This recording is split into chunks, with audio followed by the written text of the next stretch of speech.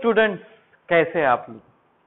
तो हम वापस आए हमारे वीडियो लेक्चर की सीरीज़ में, जहाँ पे हम हेलोजन डेरिवेटिव्स ऑफ़ अल्केन्स के टॉपिक्स देख रहे थे। ठीक है? तो अभी हम एम एस नीट और जेडब्ल्यू से रिलेटेड सबसे इंपॉर्टेंट टॉपिक जिसमें मैक्सिमम टाइम क्वेश्चंस पूछे हैं, वो है आर एस अब जो स्टेट बोर्ड के बच्चे हैं उनके लिए ये जो टॉपिक है, वो टॉपिक उन्होंने टेक्स्ट बुक में से ओमिट कर दिया है।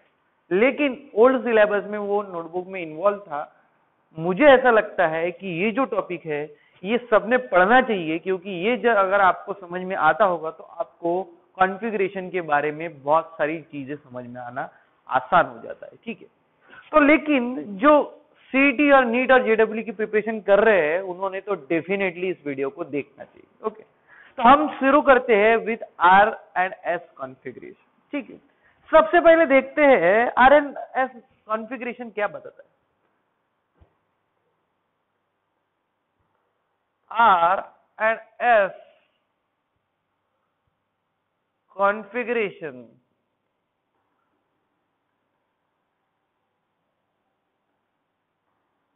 shows spatial arrangement. Spatial arrangement.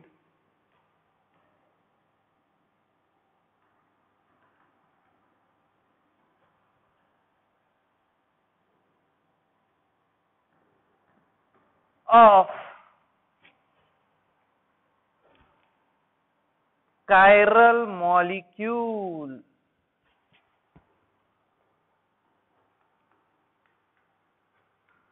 chiral molecule के विथ रिस्पेक्ट टू एटम्स कैसे अरेंज है, इसकी इंफॉर्मेशन जो देता है वो कौन है? तो आर एस कॉन्फ़िगरेशन अब हमको पता है कायरल कार्बन यानी क्या होता है?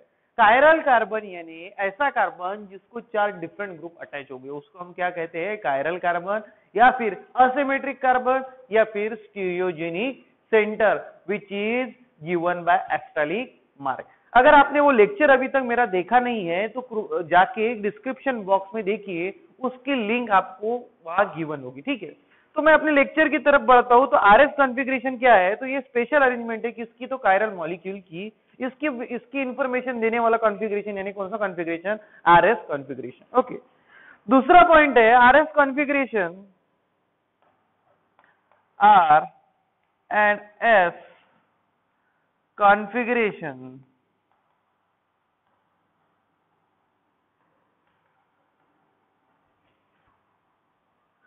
works on priority. Priority rules अब ये प्रायोरिटी रूल्स क्या है? तो हम क्या करते हैं? हम प्रायोरिटीज असाइन करते हैं। अब प्रायोरिटीज असाइन करना यानी क्या होता है? तो सिंपल कंसेप्ट अंडरस्टैंड करो। देखो, मेरे लिए मेरे लिए सबसे पहली प्रायोरिटीज है कि मैं आपसे पैसे लू। ये मेरी सबसे पहली प्रायोरिटी है। मैं आपको सिखाऊँगा नहीं, मेरी पहले सबसे पहली प्रायोरिटी है कि मैं आपसे पैसे लू। ये मेरी सबसे पहली प्रायोरिटी है नहीं। मेरी सबसे पहली प्रायोरिटी क्या है? प्रायोरिटी नंबर वन कि मैं मेरे बच्चों को जितना अच्छे से केमिस्ट्री सिखा सकूँ, ये मेरी फ़र्स्ट प्रायोरिटी फिर मेरी सेकंड प्रायोरिटी क्या है? आप बोलोगे पैसे लेना। नहीं। फिर मेरी सेकंड प्रायोरिटी ये है कि जो मैंने सिखाया, वो आपको समझ में आना चाहिए, ये मेरी सेकंड प्रायोरिटी उसके बाद मेरी थर्ड प्रायोरिटी है, जो मैंने आपके ऊपर मेहनत कर रहा हूँ, वो मेहनत का फल मुझे मिलना चाहिए तो मेरी थर्ड प्रायोरिटी रहेगी कि मुझे आपसे पैसे मिलने चाहिए, या फिर एक लाइक एक सब्सक्राइब या फिर एक शेयर मिलना चाहिए, ठीक है? तो इसको हम बोलते हैं प्रायोरिटीज अब प्रायोरिटीज असाइन करना हाइयर प्रायोरिटी फ़र्स्ट प्रायोरिटी क्या है? तो प्रायोरिटीज असाइन करना फ़र्स्ट प्रायोरिटी कौन सी सेकंड प्रायोरिटीज कौन सी थर्ड प्रायोरिटीज कौन सी? तो प्रायोरिटीज असाइन करके हम क्या कर सकते हैं? तो आर एस कॉन्फ़िगरेशन लिख सकते हैं, ठीक है? अब आपको प्रायोरिटीज के रूल्स पता होने चाहिए। तो सबसे पहला रूल लिखता हूँ मी, मैं rules for priorities rules for priority यानी प्रायोरिटीज आपको कैसे, किस तरह से प्रायोरिटीज देनी है, उसके मैं पहला रूल लिखता हूँ। Highest highest priority must go to that atom which contain highest atomic number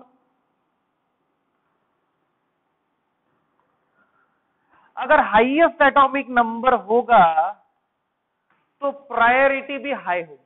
ठीक है? अब इसको मैं एग्जांपल से एक्सप्लेन करता हूँ। फॉर एग्जांपल मैं मेरा फेवरेट एग्जांपल लिखता हूँ हमेशा के तरह, जिसका मॉलिक्यूलर फॉर्मूला है C H C L B R और आई ओके एक कार्बन है, जिसको आयोडीन अटैच है ब्रोमीन अटैच है हाइड्रोजन अटैच है, और साथ ही साथ कौन अटैच है तो क्लोरीन अटैच है ठीक है? अब ये असिमेट्रिक कार्बन है, जिसको मैंने एस्ट्रलिंग मार्क्स से रिप्रेजेंट किया। अब मुझे प्रायोरिटीज असाइन करनी है। तो मैंने देखो रूल क्या लिखा है? Highest priority must go to that carbon atom which contains highest atomic number अब अगर आप इन सब में देखोगे तो सबसे ज़्यादा अगर किसी का एटॉमिक नंबर होगा तो वो होगा आयोडीन का। ठीक है? तो मैं इसको highest priority to highest priority means number one okay अब देखो, उससे कम एटॉमिक नंबर किसका है? तो ब्रोमीन का है। तो ब्रोमीन को मैं उससे लोएस्ट प्रायोरिटी देता हूँ। यानी प्रायोरिटी नंबर टू यानी मैं क्या कर रहा हूँ? तो रैंकिंग दे रहा हूँ। इसका रैंक नंबर वन इसका रैंक नंबर टू अब देखो, तीसरा अगर किसी का एटॉमिक नंबर कम है, वो कौन है? तो वो है क्लोरीन तो क्लोरीन को मैं देता हूँ atomic number priority number three और चौथी प्रायोरिटी में देता हूँ हाइड्रोजन तो इस तरह से इसको हम करते, कहते हैं असाइनिंग प्रायोरिटी और ये असाइनिंग प्रायोरिटी का रूल नंबर वन है, जिसका कहना है कि प्रायोरिटी ऐसे असाइन करो जिससे क्या होगा तो हाईएस्ट एटॉमिक नंबर वाले को हाईएस्ट प्रायोरिटी देना और लोएस्ट एटॉमिक नंबर वाले को लोएस्ट प्रायोरिटी देना। यानी जितना एटॉमिक नंबर हाई उसकी प्रायोरिटी उतनी ज़्यादा। तो ये पहला रूल है, ये पहला रूल नोट डाउन कीजिए, फिर हम अगले रूल की तरफ़ जाते हैं। तो देखिए स्टूडेंट्स हम अगले रूल की तरफ़ बढ़ते हैं। Second rule rule number two rule number two for assigning priority कभी कभी चौक हमारा धोखा देता है। देखो रूल नंबर टू अब रूल नंबर टू क्या है?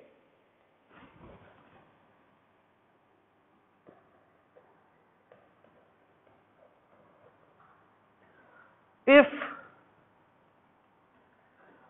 priority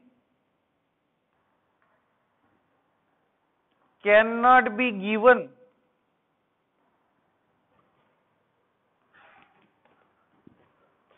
on the basis of atomic number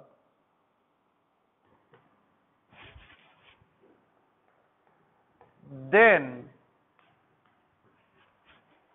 next atom. Attach to it is considered. अब देखो, इसका मतलब क्या होता है? ठीक है? एग्ज़ाम्पल के साथ लेते एक कार्बन है। कायरल सेंटर यानी चार डिफरेंट ग्रुप लगे होंगे। आई ओके उसके बाद मैं यहाँ लगाता हूँ सी एच थ्री मैं इसको ओपन करके निकालता हूँ। सी एच थ्री ओके फिर यहाँ पे मैं लगाता हूँ हाइड्रोजन और बिलो द प्लेन मैं यहाँ लगाता हूँ C H H C H H H ठीक है? अब हमको पहला रूल फॉलो करना है। पहला रूल क्या कहता है कि जिसका एटॉमिक नंबर अगर ज़्यादा होगा, उसको आप फ़र्स्ट प्रायोरिटी दो। तो इसका एटॉमिक नंबर सबसे ज़्यादा है तो ये फ़र्स्ट प्रायोरिटी होगी। अब हमको सेकंड प्रायोरिटी देनी है। अब सेकंड प्रायोरिटी में देखो, ये कार्बन है और ये भी कार्बन है। यानी दोनों का जो एटॉमिक नंबर है, वो क्या है? तो वो सेम है। ठीक है? अगर दोनों का एटॉमिक नंबर सेम है तो इनमें हम अभी प्रायोरिटी नहीं दे सकते। तो हम क्या करते हैं? अब हमको पता है हाइड्रोजन का एटॉमिक नंबर सबसे लोएस्ट है तो मैं क्या करता हूँ? इसको सबसे लोएस्ट प्रायोरिटी दे देता हूँ। फिर हम ये दो कार्बन में डिसाइड करेंगे। अब देखो, ये दोनों भी कार्बन है और दोनों का भी एटॉमिक नंबर क्या है? तो सेम है ओके अगर सेम एटॉमिक नंबर अगर होगा तो आपको क्या करना है? उससे नेक्स्ट एटम को कंसीडर करना है। देखो, अब कार्बन को कौन अटैच है? हाइड्रोजन हाइड्रोजन और हाइड्रोजन ओके तो इनका एटॉमिक नंबर लो है, लेकिन इस कार्बन को कौन अटैच है? तो ये कार्बन है। तो देखो, ये कार्बन को कार्बन अटैच है, जिसका एटॉमिक नंबर इन हाइड्रोजन से क्या है? ज़्यादा है, लेकिन ये कार्बन को कौन अटैच है? तो हाइड्रोजन अटैच है। तो as compare to hydrogen as compare to hydrogen इस कार्बन का एटॉमिक नंबर क्या रहता है? हाइएस्ट तो इसलिए हम इसको हाइएस्ट प्रायोरिटी देंगे, यानी प्रायोरिटी नंबर टू इसको देंगे हम प्रायोरिटी नंबर थ्री वन और फोर तो हमारा फिक्स ही था।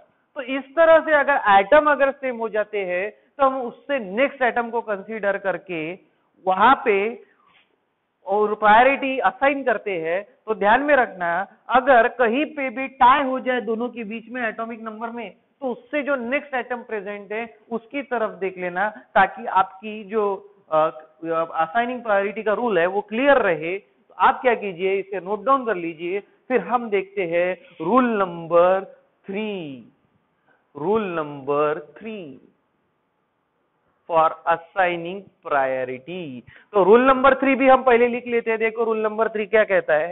इफ़ इफ़ डबल बॉन्ड और triple bond is present. Then it is duplicated and triplicated.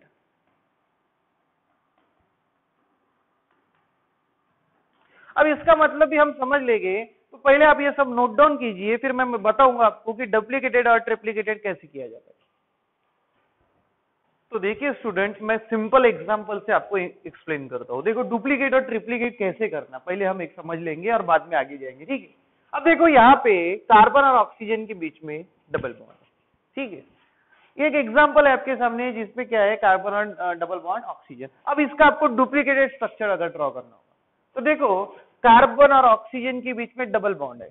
तो यहाँ पे आपको कंसीडर करना होगा कि देखो कार्बन को दो ऑक्सीजन लगे क्या लगे हैं? दो ऑक्सीजन।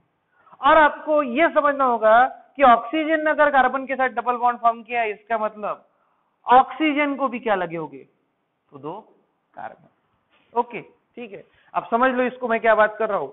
कार्बन और ऑक्सीजन के बीच में अगर डबल बॉन्ड है तो आपको यह कंसीडर करना पड़ेगा कि कार्बन को कितने ऑक्सीजन लगे हैं? तो दो लगे हैं। और ऑक्सीजन को कितने कार्बन लगे तो वो कितने लगे हैं? तो दो लगे अब आप एक बात ध्यान में रखो। अब इन दोनों के बीच में बॉन्ड है, देखिए कार्बन और ऑक्सीजन के बीच में। तो एक तो वो अटैच हो गया। ठीक है? किसको? ऑक्सीजन को। देखो, ये जो कार्बन है, इसको मुझे दो ऑक्सीजन ड्रॉ करने दें। तो देखो, एक ऑक्सीजन ये ड्रॉ किया, एक ऑक्सीजन ये ड्रॉ किया। गया? ठीक है? अब मुझे क्या ड्रॉ करना था? एक ऑक्सीजन को कितने कार्बन लगे? तो दो। तो देखो मैंने ड्रॉ कर लिया। एक ऑक्सीजन को ये कार्बन ड्रॉ किया और ये दूसरा ड्रॉ किया। फिर से और और डिटेल में समझते अब देखो, यहाँ पे आपको क्या कंसिडर करना है? कार्बन और नाइट्रोजन के बीच में अगर ट्रिपल बॉन्ड है तो आपको यहाँ समझना होगा कि एक कार्बन को कितने नाइट्रोजन अटैच है? तीन। ओके ठीक है? और नाइट्रोजन और कार्बन के बीच में अगर ट्रिपल बॉन्ड है तो इसका मतलब यहाँ पे आपको ये कंसिडर करना पड़ेगा कि नाइट्रोजन जो को कितने कार्बन अटैच होंगे? तो तीन कार्बन अटैच होंगे। ठीक है? अब देखो, एक बॉन्ड उनके बीच में क्या कार्बन और नाइट्रोजन के तो मैं क्या करता हूँ? यहाँ से एक नाइट्रोजन रिमूव करता हूँ, यहाँ से एक कार्बन रिमूव करता हूँ। मैंने ड्रॉ कर दिया। ठीक है? अब देखो, मैंने इसको ट्रिप्लीकेट कर दिया। देखो, ये कार्बन को कितने नाइट्रोजन होने चाहिए थे? तीन। ये देखो, एक, दो और तीन। ये देखो, मैंने इसको क्या कर दिया? ट्रिप्लीकेट कर दिया। यानी अगर ट्रिपल बॉन्ड होगा तो तीन आइटम ड्रॉ करने होंगे। और डबल बॉन्ड होगा तो दो करने होंगे।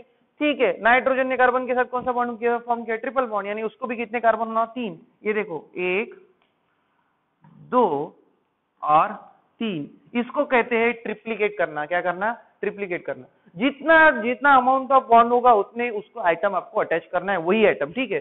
फिर से एक एग्जांपल लेता हूँ, देखो। Example C H two